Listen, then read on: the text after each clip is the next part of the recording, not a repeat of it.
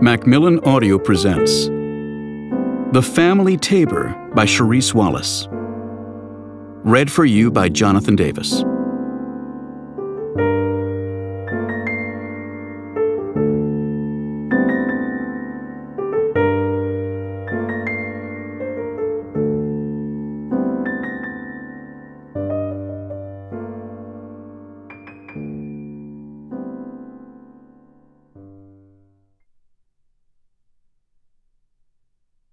Good Samaritan. Chapter 1 Tomorrow evening, Harry Tabor will be anointed Man of the Decade. If this were the 1300s, he would be running for his life to escape savage pogroms in France, Spain, Germany, Switzerland, Austria, Belgium, or Bohemia. If this were the 1800s in Imperial Russia, he would be running for his life to escape savage pogroms in Odessa, in Warsaw, in Kishinev, in Kiev, in Bialystok, or in Lviv. If this were the early 1940s, in Nazi occupied Europe, he would be running for his life, the garish yellow star of David on his chest, Jew centered in mock Hebraic a target to be captured and deported to a savage camp to join the millions of dead going up in smoke. It is only by a godsend that it is none of those times and none of those places, although those events in those places at those times certainly clarified how one was considered by others. Instead, it is late in the second decade of the 21st century in Palm Springs, California. And on this scorching mid August Friday night, Harry Tabor is reveling in the truth of what's coming. Man of the Decade is the desert city's exceptional honor, lofting high the special few who devotedly enrich the lives of others in astounding and uncommon ways. As Harry has been doing for 30 years, manifesting futures of promise and hope for the persecuted, the lost, and the luckless. In March, when he received the lavish hand delivered announcement inviting him to ascend into the very select group, only 12 such ascensions since the award's institution, he was hesitant about accepting and had thought, why me? But now, as he embraces Roma, the love of his life, and his wife of 44 years, he thinks, why not me? He commands immense respect and admiration as the highly successful head of his humanitarian enterprises, a man who effects miracles, trusting in the honey of bees, not the sting, to make those miracles happen. He shepherds all those he resettles here, thousands now, and looks after them lovingly with care and pride. And indeed, this moment, sheet thrown off, bodies damp, souls replenished by their Friday night union, Harry realizes there will never be a better time for this felicitous event. This proffering of esteem, this celebration of him, to which apparently 800 have confirmed their attendance. How wonderful that it has come now, when he has just begun dipping toes into the spotlight, and while he has not yet lost his hair or his teeth or his height or his hearing or his eyesight, or any notion of him shuffling off this mortal coil is far, far in the future. So far in the future, it bears absolutely no current consideration.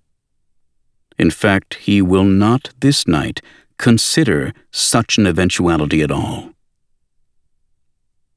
He runs a hand softly down his wife's back and says, You're as lovely now as you were at 24 when we wed. Harry says these words often to Roma, and always on Friday nights, for he still sees her as the bride she once was. And every Friday night, Roma says, And you have matured into an emperor, my love. Enjoy your solitary hour. Which is what she says now, smiling up at him before cloaking herself with the sheet and duvet. She is instantly asleep in the ceiling fan breeze, the blades whirring a noise she seems never to notice. Harry rises then for a quick shower. Under the spray inside his head, Leonard Cohen is singing Hineni Hineni. All afternoon he listened to that song in his office, its dark exultation curiously increasing his own elation. Here I am, here I am, he thinks, as he dries off and dons the caftan Roma insisted they buy him long ago in Morocco. When he draws the drapes, he catches his reflection. He does look like an emperor, and he feels like one too, a happy emperor, a pleased potentate, a benevolent monarch. Slipping out of their bedroom, he follows the path Roma leaves for him through the house, overheads reduced to small lighted circles, electric breadcrumbs by which she guarantees he will find his way back to her. And he always does, always wants to, always will. In the living room, a substantial pour of brandy in a cut crystal glass. Then he is through the sliding glass doors, stepping into the late summer night with its textured, enveloping heat, the hot air scented with life.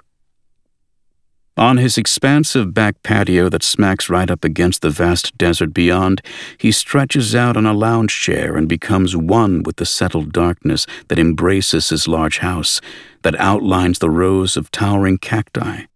Larger than when they first moved in, silvered by moonlight, thick as terrestrial soldiers, sulphurous as ghosts. This place, this desert, his desert, how it stirs his insides, the grandness of everything and of every living thing, mixing seductively with the fragrance of the brandy he sips. A bat shoots by, then another one, and their soaring night search for insects to gobble up no longer gives him the slightest start. He listens to the murmurs, the rustles, the peeps, the faint calls that could mean love or despair out there, the scrabbling of creatures seeking whatever it is they need.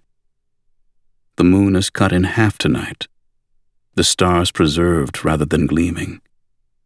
He remembers when his children were young, pointing out specific stars whose names he didn't know, has never known, saying to each of them, That star right there belongs to you, Phoebe and that one to you, Camille, and that one to you, Simon.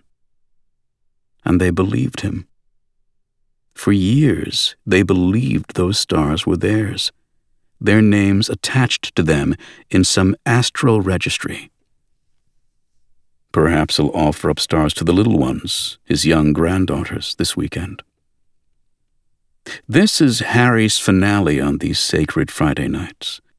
After he and Roma prepare a lovely dinner at home, drink a bottle of delicious wine, share news about his newest clients, her thorniest patients, their stellar children, their adorable grandchildren, and afterward, in every season, float together in the big pool until the moon appears, then make love. This solitary hour of reflection is when he considers the infinite and the world at large and this world of his that he thinks he created out of whole cloth. Tonight, it's not the infinite he wants to contemplate, but the specific.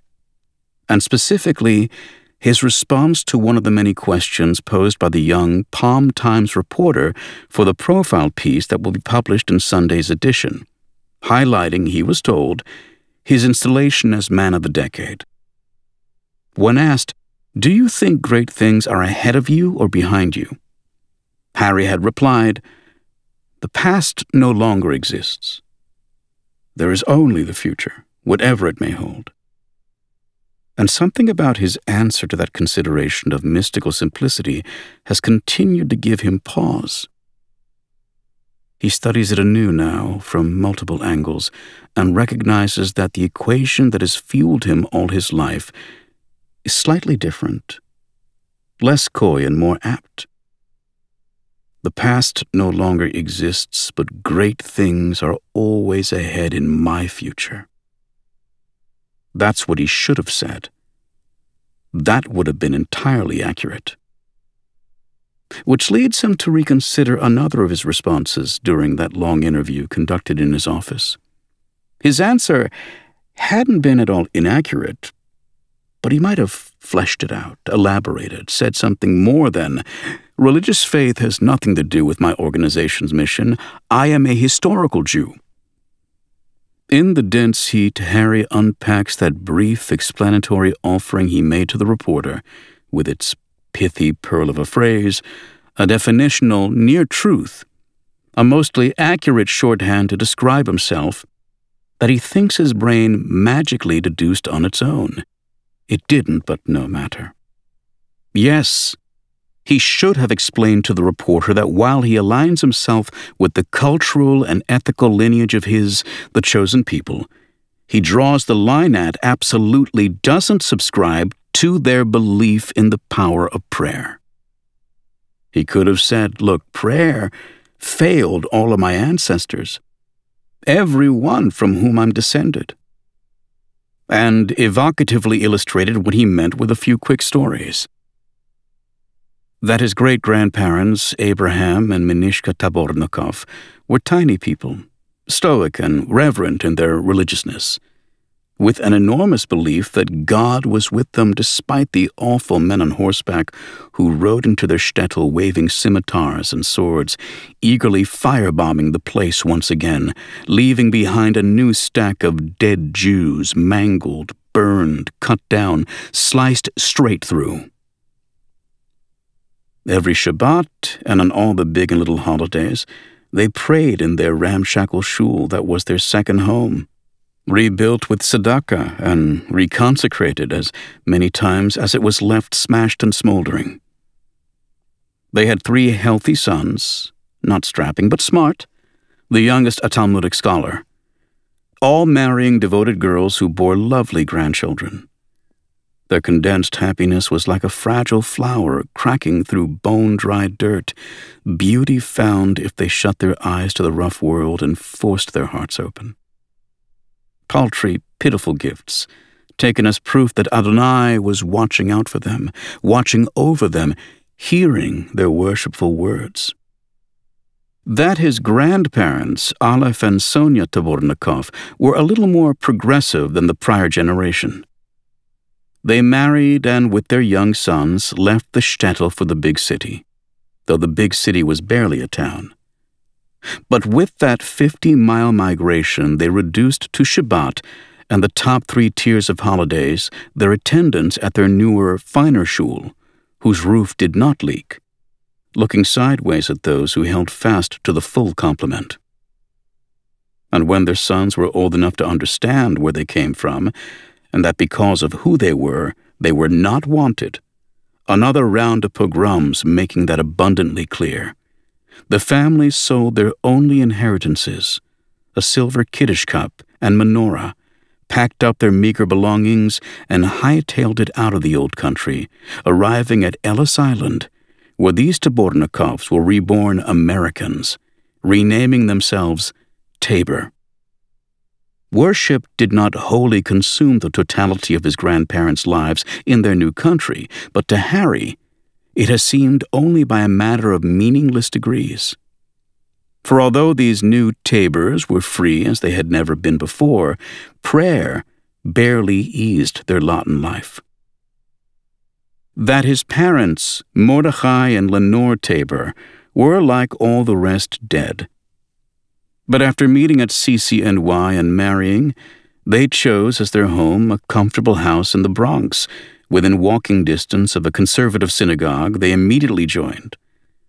They did not attend on Shabbat or on the minor holidays, but were present at the ostensibly fun ones like Purim and Sukkot and Hanukkah, and were always in their middle of the house seats on the most holy of days, those deemed critical, young Harry seated firmly between them and when the synagogue threw out the fusty old prayer books and adopted looser, more free form services, with a musician to strum his guitar and a newfangled cantor who sang to the plucked notes, they went with the times. They maintained their minimized calendar of observance and their strong belief that prayer was an answer to so many things that remained, unfortunately, unanswered. And that on Harry's own bar mitzvah, as he ascended the bema, reached the Torah scroll unrolled on the lectern, accepted from the well bearded rabbi the scepter to guide him along the reversed sentences of minuscule black inked Hebrew words, he, like all those earlier Tabors and Tabornikovs, had prayed. His prayer hadn't been for global peace or to make Morty and Lenore proud, or to be gifted with checks in Israeli bonds in relatively substantial sums for 1961. But that Eve Flynn, the long legged redhead in his homeroom, who every single Sunday attended church and sang in its youth choir under a massive. We hope you enjoyed this preview. To continue listening to this audiobook on Google Play Books, use the link in the video description.